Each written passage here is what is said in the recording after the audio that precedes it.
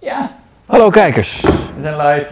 welkom bij TR Live. Hallo. Wij zijn Casper van der Putten en Jacob Derwig. Eh, en achter ons ziet u het decor van Revolutionary Road. Dat is eh, de voorstelling waar we nu aan werken. Zeker. In eh, Theater Rotterdam, het voormalige Rood Theater, locatie Witte de Wit. Hier repeteren we. We hebben de hele dag keihard gewerkt. Ja, we zijn nu bij het tweede bedrijf aanbeland en dat was voor ons eh, nieuw. Dus we zijn daar zo langzaam stapje voor stapje doorheen gegaan. Ging best, eh, ging best aardig, toch? Ja, zeker. Traag begin en toen ging het heel snel opeens. Ja. Precies. We zijn nu ongeveer eh drie, drieënhalve week bezig met repeteren. Ja, Ja, en over drieënhalve eh, heb je hier première. Dit is ook de zaal, toch? Waarin we in Ja. première gaan. Eh 7 oktober. En de eerste try-out is 4 oktober. Dus we hebben drie try-outs en dan 7 oktober gaan we hier officieel los. Met dit dus eigenlijk. Hier begon het eh, ooit mee. Ja, komt door jou, toch? Dat we dit gaan doen. Dit komt helemaal door mij. Ik heb dit eh, aangestoken, dit vuurtje. Wanneer begon dat? Ehm, dit boek was in nou, 2000, 2001 ineens eh, te lezen. Het is al geschreven in begin jaren 60. Eh, Amerikaanse schrijver Richard Yates. Ongelooflijk mooi boek. Eh, best aardig eh, gewaardeerd toen, maar nooit doorgebroken. Ja. En pas 40 jaar later vond een Amerikaanse recensent dit zo ongelooflijk mooi. En die zei, dit moet iedereen lezen. ja, die heeft toen een of ander gloedvol betoog in de Boston, Chicago, fuck, dat weet ik niet. Het is mijn baan om dat wel te weten. In een groot literair tijdschrift, een soort groene Amsterdammer. Eh, groot gloedvol betoog over Richard Yates is eigenlijk geniaal. Revolutionary Road is een meesterwerk. En dat heeft hij zo goed opgeschreven dat toen opeens dat boek eh, Ja. over de toonbank vloog. Casper is eh, dramaturg bij de voorstelling. Dus, een dramaturg is iemand die vooral alle achtergrondonderzoek doet. In ieder geval van ons het meeste moet weten over de schrijver, over wanneer het is geschreven, over wat alles betekent. En omdat ik het zo mooi vond, heb ik ehm, de bewerking eh, willen maken. Eh, ik ben eigenlijk acteur, maar niks leukers dan zelf op zoek gaan naar materiaal wat mooi is om te spelen. En ik vond het ongelooflijk leuk om zelf in het boek te duiken en hier de scènes en dialogen uit te prutsen. En eh, dramaturg Casper was mijn eerste lezer. Dus alles wat ik Tijdens de bewerking. Ja, tijdens de precies. bewerking. Ja. Dus als ik iets net af had, dan ging het naar Casper en die zei dan oké of mooi of Ja, niet doen. dat deden we ook weer samen met regisseur Erik Wien. Maar, eh, maar, maar nog even daarvoor, want jij, jij las dit boek. eh, maar je leest al vaker een boek dat je goed vindt. Ja, maar kennelijk is dat toch een soort deformatie van mijn beroep. Dat je snel iets leest en denkt, zou dit iets zijn om eens iets mee te doen? En zeker in dit geval, dit zijn zulke mooie personages. Ja. Die, die leven vanaf zin 1 zo levensecht, dat je denkt, deze mensen wil ik gewoon eh, in het echt zien. En eh, toen ik ehm, dacht, misschien moet ik hier iets mee doen, toen had iemand anders dat ook bedacht en die heeft er een film van gemaakt. ja, Sam Mendes. Niet de minste, naam. toch? Niet de minste regisseur. Met eh, Kate Winslet en Leonardo DiCaprio. Ja. Dat is een hele mooie film geworden. Sam Mendes heeft ook American Beauty geregisseerd. Super mooie film ook. De laatste twee James Bonds Heeft hij ook gedaan. heeft hij ook gedaan. Dus dat is een naam die we niet mogen vergeten. Nee, precies. En niet kunnen vergeten. Maar toen mocht je het zeker even niet doen. Nee, nee, inderdaad. Toen moest iedereen ervan afblijven. Uh, filmstudio's die een, uh, uh, de filmrechten weten te bemachtigen, die zorgen er ook voor dat niemand er dan ook op toneelgebied aan mag komen. Ja.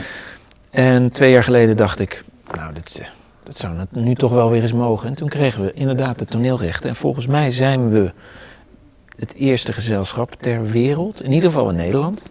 En in Amerika en Engeland is het ook nog niet gedaan. Het eerste, de eerste toneelbewerking van dit boek. En jij mocht dus kiezen, want jij had die rechten bij je. Uh, samen met de toneelschuur, die ja. de co-producent is van dit geheel. Ja. En, en toen mocht jij dus beslissen met wie je dit wilde gaan maken? Luxe, hè? Ja, dat is ja. toch niet zo vaak? Nee, meestal word je als acteur toch gewoon gevraagd. En dan kijk je in je agenda en dan heb je een gesprekje en denk je ja, dat wil ik. Of nee, dat wil ik niet. Maar nu was het andersom, ja. Dit was bij, mijn, uh, bij mij begonnen.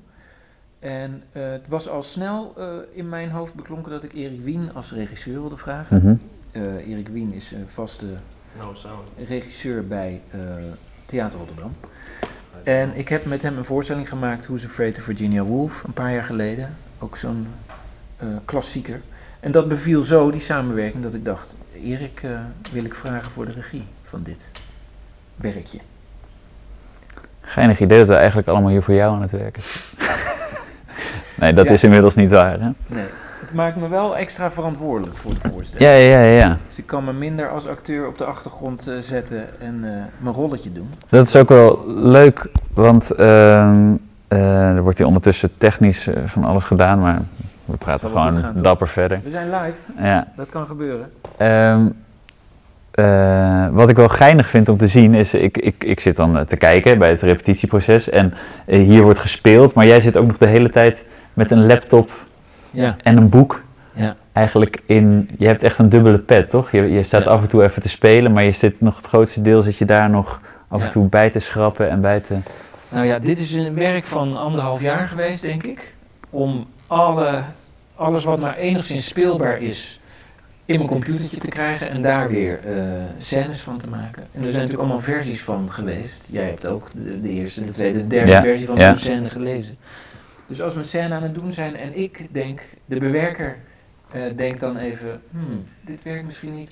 Laat ik eens terugkijken naar een oude versie van die scène. Dan kan ik nog zinnetjes zien en denken, misschien kunnen we die er toch nog in? Of Ja. moet niet nou juist eruit? Dus ik heb inderdaad twee petten op, ja. Denk je ook wel eens, eh, eh, als je naar een collega kijkt, nee, zo, zo moet je die zin niet zeggen. Want je hebt hem vaak, Yates heeft de inhoud geschreven, maar je hebt ook best wel zitten sleutelen aan dat die dialogen Ja, perfect in jouw oren klinken. ja. Nou, gelukkig hebben we een heel fijn setje acteurs. Ja. We hebben Teun Luiks, we hebben Alejandra Teus en we hebben Malou Gorter en ik. En met z'n vieren eh, zijn we niet eh, de minste. Oké. Dus we, natuurlijk denk je wel eens, eh, oh dat zinnetje heb ik ooit zo bedoeld, maar dat is dan wel snel te bespreken. Kijk, we krijgen een kijkersvraag, dat is leuk. Ja. Ehm, de vraag is of ik de filmbewerking van het boek geslaagd vind. Nou, ik hield zo van het boek dat toen ik de film zag, een beetje teleurgesteld was. De film is prachtig, maar ook heel zwaar en heel verdrietig. En het is een verdrietig verhaal. Maar eh, het is ook met heel veel eh, mededogen en zelfs met humor geschreven. Dus toen ik dacht, ik ga daar een toneelbewerking van maken, wil ik ook dat er iets van lucht en humor in zit. Ik zag die film eh, toen ik net een week verkering had met, met Anna, met mijn vrouw. Eh, maar dat wist ik toen nog niet, want toen... Ik had nog ineens verkering, we hadden een eerste date gehad. En toen Wow. ging ik naar die film en ik weet nog dat ik echt... Ik was echt verpletterd. Ik was helemaal kapot. Ik dacht, dit... Zo mag mijn relatie nooit worden. Of zo. Dus die, die, die film heeft wel de eerste paar jaar wel echt door mijn hoofd gespookt Ja. daarin. En ik heb dus eerst de film gezien en daarna pas het boek gelezen. En toen, toen ik dat boek las, dacht ik, oh, maar dit zit er ook nog allemaal in. Ja, precies. Het is veel, eh, nou ja... eh, Dat is altijd. Een Ja, boek is precies. natuurlijk zo. En van een film moeten ze er anderhalf uur van maken. Maar inderdaad, het was, de film was wel echt loeisomber. ja. Ja. Het is een somber verhaal, misschien moeten we heel even Ja, schetsen. Ja, Eh, het gaat over eh, jonge mensen, eind 20, getrouwd, te jong getrouwd, twee kinderen, iets te jong kinderen gekregen. Zij gaan wonen in een buitenwijk in Amerika, jaren 50. iets te ver buiten. En ze zijn niet gelukkig. Ja. En een huwelijk op zo'n plek waar alles goed is en buren en samen. En je zou denken, alles is er om wel gelukkig te zijn en ze zijn het niet. En eigenlijk is dat heel herkenbaar, want dat zal menigeen in een verkeerde relatie of in een verkeerde huwelijk denken, waar heb ik nou die verkeerde afslag genomen dat ik nou ineens hier zit? Waarom wou ik hier ook weer wonen? En hoor ik dan bij deze mensen, omdat ik in deze wijk Mm. woon? Dat zijn een beetje de En ook, ze zijn ook gewoon volwassen geworden en dan doe je ook soms dingen, toch? Je hebt ook een huis nodig en je hebt, en die angst herken Ja. ik denk ik ook wel, dat je zo af en toe denkt, ja, dat, dat doe je toch ook gewoon? Of ben ik nou, is dit het begin van het einde en word ik burgerlijk? Maar inderdaad, hè, zij, zijn, zij zijn ongelukkig in ieder geval. Ja. Ja, ze zijn, ze, ze zijn een beetje burgerlijk, Ja. maar ze vinden zichzelf niet burgerlijk. Dat is een beetje ook hun probleem in a way. Ze, ze zouden gelukkig moeten zijn, want ze zijn slim en eh, knap. Maar eh, er zijn een paar dingen niet gelukt en ze hebben ook een beetje tegen elkaar gelogen zo in het begin. Toen zij zwanger was van de eerste, zei hij eh, leuk, maar zij dacht nee, niet fijn. En toen hadden ze dat eigenlijk goed uit moeten spreken en misschien een abortus moeten nemen, maar dat deden ze niet. Ja. En zo stapelde leugentje, leugentje, leugentje. En dan, dan denken ze, we kunnen onszelf redden. We gaan verhuizen Ja, naar Parijs. nieuw leven, nieuwe wereld. Ja, en, dan, en dan begint eigenlijk het verhaal pas echt. Ja. Is dat genoeg misschien? Ja. Voor- zoiets. qua verhaal, Ja, zeker, ja, ja. ja. Ik heb een kijkersvraag voor Jacob. Ja, welke rol? Eh, welke rollen speel jij? Teun en Alleganda speelden, spelen het eh, jonge echtpaar. En we hebben ervoor gekozen om alle rollen daaromheen, dat zijn drie mannenrollen en drie vrouwenrollen, door mij en Malou Gorter te laten spelen. Dus wij spelen de buren, hun beste vrienden en eh, hun collega's. Ja. En door die wat kleinere rollen samen te voegen, worden wij, speel ik een beetje een de buurman. De, de, wij zijn een beetje de getuigen van dat drama, Ja. wat het is. En, en ik, kan, ik, ik, zie, je- ik zie je al af en toe spelen. Ik kan misschien dat nog net wat. Jij zit, jij zit erin. En jij speelt een van de beste vrienden van het koppel. Ja. Samen met zijn vrouw ook een soort ander koppel. Dat wat minder last heeft van al hun burgerlijkheid. Ja. Jij hebt ook stie- stiekem een oogje op, op eh, April, hè? Op, de, op de vrouwelijke hoofdpersoon. Ja, ja, Je speelt een collega die eigenlijk altijd een kater heeft. iedere dag weer. Ja. Om, die, die zuipt zijn leven eigenlijk, zijn eigen saaiheid Ja. weg. Ja, hele saaie baan ook. Ja. Ja. niks doen overdag en Ja. dan s'avonds, smiddags al. Ja, S'avonds nog meer. S'morgens misschien ook stiekem. diep ongelukkig, Diep ongelukkig. maar dat nooit zeggen. Heel grappig. Heel erg grappig. Eh, en je speelt een, een heel belangrijk figuur, toch? Eh, een, een jongen die in het dorp heeft gewoond, Ja, maar nu in een gesticht zit. ja, En eigenlijk de enige in dit verhaal is die echt keihard de waarheid vertelt. ja. Dat En is die hebben we nog niet gerepeteerd. Nee, precies. Ik weet bij God niet hoe, ik dat, eh, hoe dat gaat zijn. Vandaag, vandaag waren we een scène aan het repeteren waarin jij Shep speelt. Dat is de vriend van het koppel. Ja, En toen kwamen we daarop uit dat dat misschien wel een beetje bozig en agressieve scène zou worden. En toen hoorde ik je tegen Erik zeggen, ja, misschien wordt het dan ook al een beetje te veel John. ja, diep. De waarheid zeggen. Ja. Maar dat weten we nog niet, want die Nee. heb ik nog niet gerepeteerd. Nee, maar dat is ook wel, want, want het is niet dat we dat gaan herkennen aan dat je per personage dat je speelt een hele wilde kostuumwissel gaat doen, toch? De man op kantoor heeft een bril en een jasje. Dat is ook wel fijn dat je weet, oh ja, dat is een andere man Ja. dan deze man. Maar eh, dat derde personage, het belangrijkste, denk ik, heb ik eigenlijk nog niet aangeraakt. Dus boezem mij een beetje angst in, inderdaad. Maar het is een super mooie rol. Iedereen die de film ook heeft gezien, die zegt: Oh ja, die man, die man. Ja. Zit hij er ook in? Ja. Nou, die zit zeker in de voorstelling. Ja, dat moet hè. Ja. Heel fijne rol. Hoop ik natuurlijk dat het niet gaat denken: Jezus, hoe moet dat? En, eh, Morgen toch? Morgen, gaan we daar waarschijnlijk... eh, Ja, ben je erbij? nee, ik ben er vrijdag weer. Oh, ja, Als dramaturg moet je niet te veel aanwezig zijn. Heb ik wel eens geleerd. Of dat vind ik zelf, want ik regisseer ook wel eens. Ja, jij Maar- bent ook regisseur inderdaad. Ja.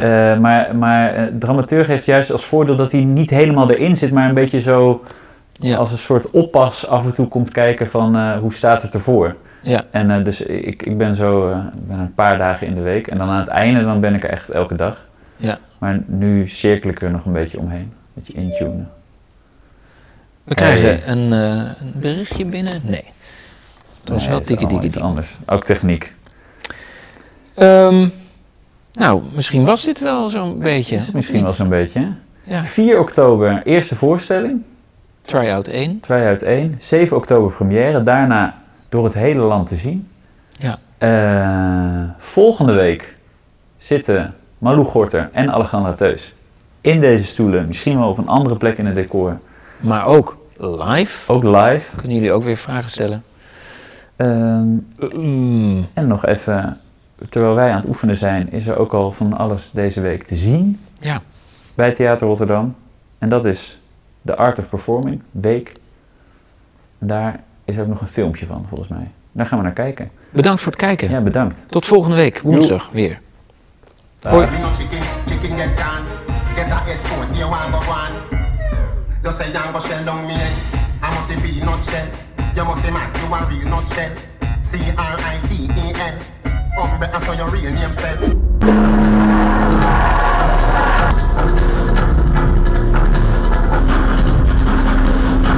Why? Everybody's talking in my ears, so кривам се. Всичко е толкова смешно. Толкова смешно. Не мога да се развикам, като хората трябва да се съобразяват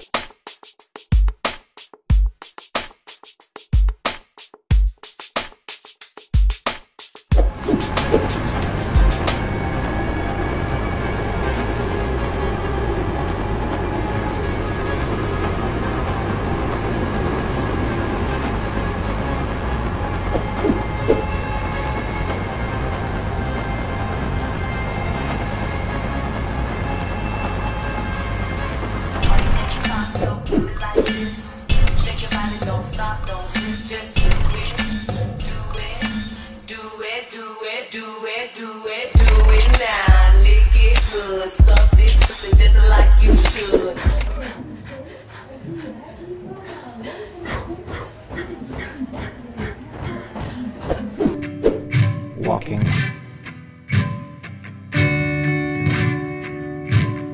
Walking. Running.